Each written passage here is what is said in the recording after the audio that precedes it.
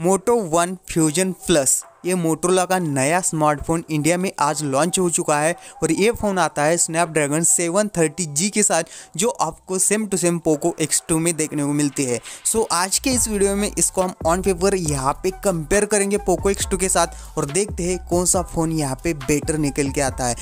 मोटो में आपको 64 मेगापिक्सल का मेन सेंसर देखने को मिलता है, पर इसको स्पेसिफाई नहीं किया तो मुझे लगता है कि ये सैमसंग का ही सेंसर होगा। उसके साथ 8 मेगापिक्सल का वाइड एंगल 5 मेगापिक्सल का मैक्रो और 2 एम का डेप्थ सेंसर देखने को मिलता है, और फ्रंट पॉपअप के लिए आपको 16 मेगापिक्सल का कैमरा देखने को मिलता है। तो यहाँ पे पोको X2 में आपको 64 मेगापिक्सल का सोनी आई एम देखने को मिलता है और 5 मेगापिक्सल का वाइड एंगल और टू टू एम के डेप्थ और मैक्रो के लिए यहाँ पे सेंसर देखने को मिलते हैं। उसके साथ पोको में फ्रंट में आपको दो कैमराज देखने को मिलते हैं, एक 20 मेगापिक्सल का और एक दो मेगापिक्सल का डेप्थ सेंसिंग के लिए। मोटो में आपको 6.5 इंच की F H D plus I P S T F T panel देखने को मिलता है और ये फुल स्क्रीन है।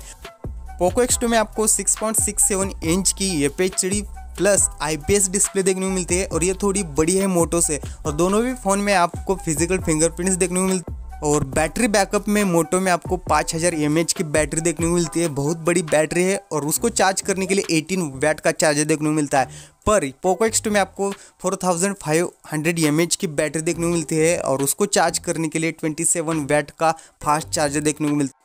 सो गाइज़ मोटो में पोको से क्या बेटर है सबसे पहले आपको स्टॉक एंड्रॉयड 730G के साथ मिल जाता है। उसके साथ यहाँ पे आपको लंबी 5000 हज़ार एमएच की बैटरी मिलती है और फुल स्क्रीन डिस्प्ले देखने को मिलता है।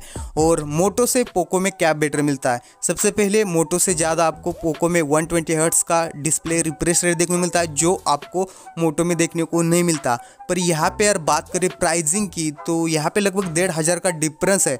पर आपको पोको एक्स में ट्वेंटी वैट का फास्ट चार्ज चार्जर देखने को मिलता है, जो मोटो में आपको ओनली 18 वैट का चार्जर देखने को मिलता है। सो so गाइज़ यहाँ पे मैं मोटो को जल्दी ही परचेस करूँगा, और इन दोनों में से कौन सा फ़ोन आपको अभी भी बेटर लगता है, ये ज़रूर कमेंट करना, और आपको कौन कौन से वीडियो चाहिए, ये भी ज़रूर कमेंट करना। जय हिंद दोस्तों।